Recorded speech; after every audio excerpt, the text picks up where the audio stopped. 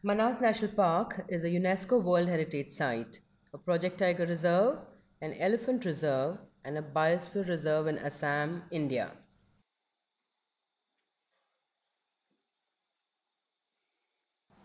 It is one of the best places to see Asian elephants in India. Returning after a hectic day of birding, we chanced upon a huge herd of elephants crossing the road. This herd of elephants was walking purposefully towards a salt lick laid out by the forest department near their forest camp.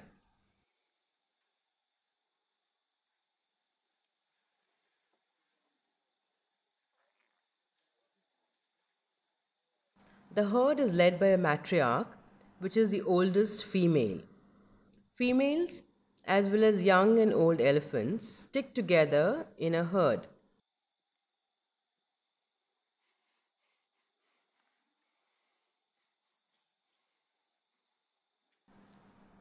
Sighting these gentle giants in the Manas National Park is reverential, as it goes on to prove that with a little protection, nature rebounds and all's well with the elephants here.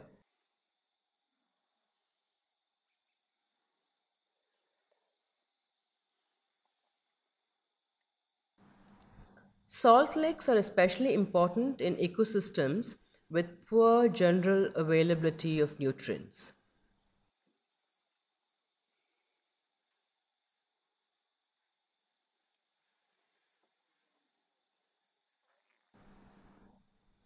After a little frolicking around, unfazed by our presence, the matriarch gives out a loud shout, and everyone troops back to their bedding site for the night.